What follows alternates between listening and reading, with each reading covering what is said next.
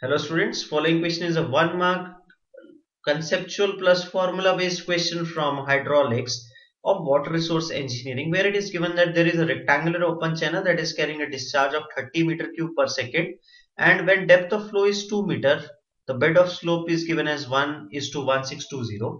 Now it is asked that what will be the discharge in meter cube per second through the say channel at same depth if slope is changed to 1 is to 800 that is slope is made steeper. So one thing is for sure that discharge q has to be greater than discharge of case 2 now using manning's formula if you don't like this manning's formula you can also use Chezy's formula. No problem with that.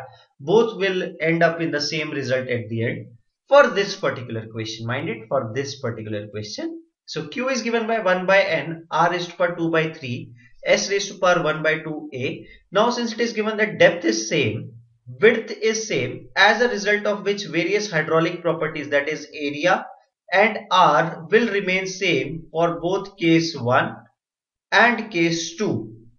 So it will be only dependent upon slope. So can we write it as that q1 upon q2 is s1 upon s2 raised to power 1 by 2 now we know Q1, we know S1, we know S2. We can simply calculate Q2 simply by a straight mathematical calculation which yields answer as 42.69 meter cube per second.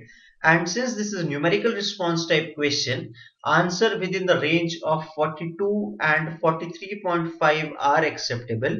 Both values are inclusive. Hence, lies the correct answer as 42.69 meter cube per second. Thank you.